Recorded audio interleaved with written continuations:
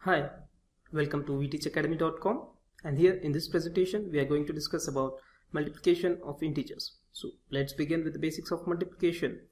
So here we all know that multiplication is nothing but a repeated addition. For example like say 3 plus 3 plus 3 plus 3 is nothing but we are adding 4 times 3. So in multiplication we write this as 4 multiplied by 3. Now what is 4 multiplied by 3? So let me draw a number line and then try to make you understand in an easy manner.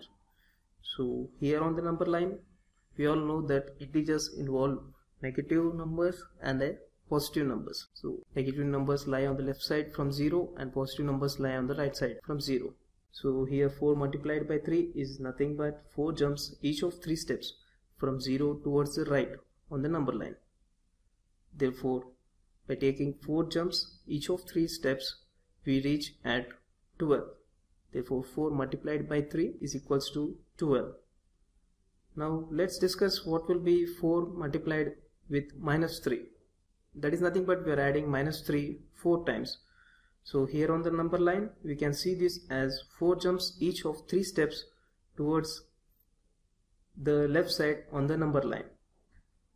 That is starting from 0 4 jumps each of three steps we reach at minus 12 so 4 multiplied with minus 3 is minus 12 now here you would have noticed that we are multiplying with a negative integer. We are moving towards the left on the number line.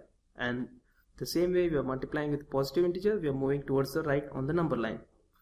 So now 4 times minus 3 is minus 12 so what would be minus 4 times 3 that is minus 4 multiplied with 3 so let's discuss about minus 4 multiplied with 3 so for this let us study the pattern given on the right side.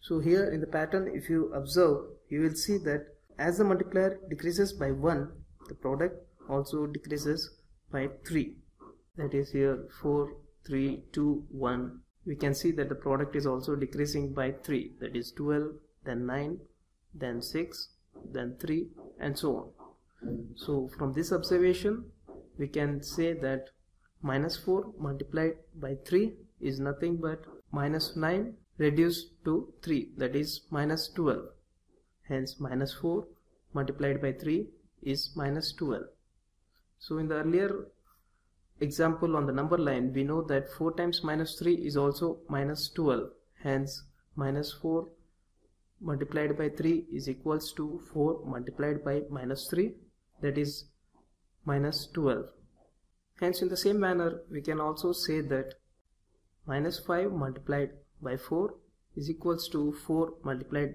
by minus 5 is equals to minus 20 thus each time we are multiplying a positive integer with a negative integer the product here we get as a negative integer that is minus 5 and minus 5 here in this case we get the product as minus 20 and the same in the above also we are multiplying a minus 4 or a minus 3 we get the product as minus 12 and same you can also observe in the pattern given on the right side.